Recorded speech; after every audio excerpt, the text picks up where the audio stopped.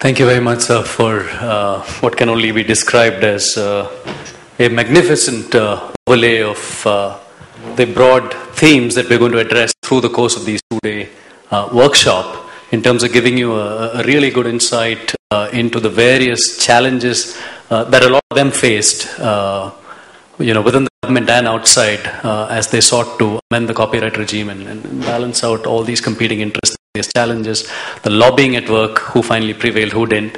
Uh, I think that presentation really, really gives us some very keen insights uh, into this very dynamic process of lawmaking. Um, and you can also.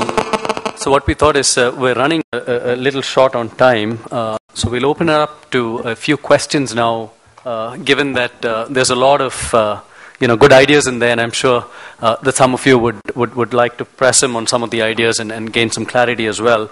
But before that, uh, you know, I really uh, want to thank uh, Sumit Malik of uh, EBC again because we ran into a problem uh, in that, uh, as with most of our lawmaking endeavors, typically you get the law in compartments. Right? So when, when, when Parliament amends and when the government amends, they'll give you just the amendments, but they won't they won't stitch it back into the Parent Act. That's always a problem because you don't know which version then is the right version.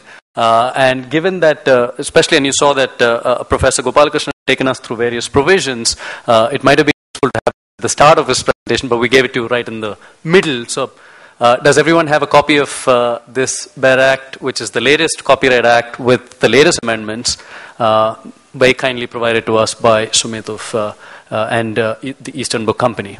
Right. We also put up a, an electronic version at some point. I think Pranesh Prakash from CIS had an electronic version uh, during, I think, up to date as of 2011. Then things changed since then.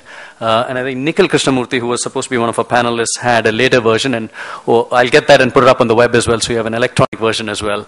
Uh, and we're trying to convince Madhukar. Um, uh, Madhukar of PRS, Parliamentary Research Services, uh, try and make that their next endeavor, which is really to put up electronic versions of laws, but updated laws, right? Because you, the only electronic versions you have is you'll just get the amendments and you'll just get the Parent Act, and then you have to stitch it together yourself, which is which is a big pain. Uh, so we'll hopefully get that in some time. Uh, so right now, uh, can we please take uh, a, a, few questions for Professor Gopalakrishnan, and then we'll break for uh, a tea and coffee. So if you could please introduce yourself, uh, you know, and pose a very directed question, um, and, and, then hopefully get a, a good discussion going here. Thank you. Thank you very much, sir. I'm Rajendra Kumar from K&S Partners. I just have one question uh, on Section 18. Uh, Section 18 uh, today has a new proviso with regard to uh, future platforms of exploitation. So, as and when there is an assignment, uh, uh, one cannot re- really assign future platforms. Now, Section 30A deals with licensing. it says um, uh, the provisions of Section 19 shall, with any necessary adaptations and modifications, apply in relation to a license under Section 30 as they apply in relation to assignment of copyright in a work.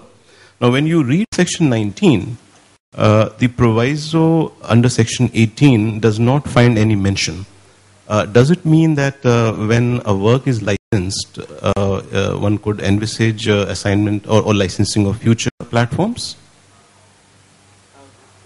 one could envisage as, licensing of future platforms in the context of licensing? I hope I have articulated my question.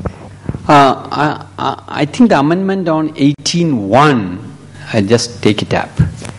18.1, uh, we have a, a provision which has been added by saying that Yeah, that's the, yeah. yeah. Uh, provided whether that so uh, no such assignment shall be applied to any medium or mode of uh, uh, exploitation of the work which did not exist or was not in commercial use at the time when the assignment was made, unless the assignment specifically referred to such medium or mode of exploitation of that work. Well, my reading is that when you say section 18, automatically everything in section 18 will come you cannot keep out some portion of section 18 and apply some portion of uh, uh, know, 18. So the licensing agreement will also need to address uh, the mode of uh, assignment. Uh, the reason probably is if you look at the case law that came from Mumbai High Court as well as from Madras High Court with reference to application of old contracts to new context, particularly on video, uh, uh, video licensing. There was conflict of uh, reasoning, interpretation. Even within the Bombay High Court itself, you could see the conflict. Some courts read the contract by saying that it's implied that even the future rights has been assigned, which seems to be too much. The other courts didn't understand and they relied upon some other provisions to say that the future work has not been, particularly the Pasmiller case, the Madras High Court. What has been built in is by saying that if you can, if there is some, if you say all rights and all media is the language which you use, if there is some existing technology and areas, mobile ringtones is one uh, you know, uh, areas which one can look at it. Because you can't envisage in 60s when uh, has been assigned, oh, who can think about internet, internet transmission? And if you argue by saying that the rights on internet has been assigned on 60s, it's foolish in terms of it. So the court went into the literal meaning of the word and then interpreted without understanding where the new rights will go when the new rights has been created. This proviso is something which has been built, according to me, uh, makes it very clear that if you know the future technology coming in, put the technology very specifically in the contract if it is not in commercial use. If a technology is already in commercial use, well, it can get implied upon that. It also gives an impression that uh, the possibility of the owner of copyright licensing or assigning different modes to different set of people, which is also a commercial practice that is going on. So whether it is assignment or licensing, I believe it applies to, uh, to future technologies as long as technology is identifiable and specific. This is Rajesh from Simca South Indian Music Companies Association. Uh, there is a lot of uh, uh, ambiguity with regards to royalty sharing of the authors and composers and the um, label owners. Uh, could you shed some light and uh, elaborate on what kind of uh, royalty sharing is envisaged in the amendments. And is uh, if, already there is a contract which has been signed which which assigns the sound recording to a label and the music and literary works to a label then is the label liable to pay uh, royalties on uh, on a periodic basis? Uh,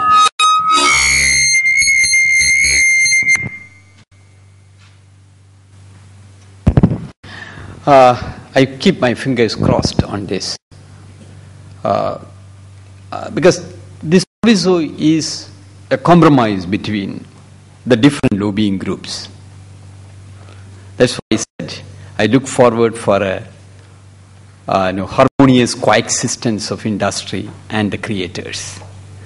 The best solution is finding out, uh, sitting across the table and settling your own uh, disputes on the old contracts and the new contracts which they want to enter into. Uh, as an academic, I believe if there is an amendment, that amendment applies to existing work as well as future work. That's as an academic my view. Uh, it becomes meaningless if you say that if the rights is not applicable to existing existing works. We have seen it in 1992. Nobody questioned when 1992 amendments expanded the right to storage on electronic medium. The amendment we have given to uh, communication to public in the 1992 amendment. Nobody argued by saying that these rights will be applicable only to uh, future works and not to the existing works. So, whenever there is an expansion of right, that expansion of rights applies to existing as well as new rights that comes into. So I have no uh, uh, second thoughts on it. Otherwise, the meaning of the law will become uh, uh no, uh, no use. But then, who will enjoy it is a question. Whether the rights will go back to the creator, and then the creator gets the freedom to reassign it, or whether the old contracts will govern even the new rights. That's precisely the question which the court addressed in amending section 18.1, which talks about unforeseen new rights coming. Conceptually and theoretically, the rights must go to the creator because Section 7 makes it very clear that the author is the first owner. Since the author is the first owner, the right must flow back to the author when a new right has been created. The contractual terms can create problems. Probably the provisos are trying to address that critical issue. Because if you ask the question what is the reason for these new provisos to come in, is it because there is an imbalanced contractual relationship that existed? The intention of the legislature is to correct that imbalance. But then, well, the wordings can create problems. That's why I said you can litigate the anomalies throughout your life, or you can find good contractual relationship. I concluded by saying that I look forward for good contractual relationship. Thank you. And on that note, uh, I think we'll, we'll just break for, because our time is really short. Uh, you have him completely for the coffee break. So we'll, since we're running short on time, uh, let's break. You will here all the day, so I'm going to intervene, so you can raise all the questions and I can come back. bother you during the break, is it? Yeah, no problem. Absolutely. And I'm here for two days. I'm a co-sponsor, I cannot run away. So, okay, so may I welcome you to please have a quick uh, coffee. We'll assemble back here in about uh, not more than 10 minutes, yeah? Just a quick five ten minutes and we'll come back inside the first session.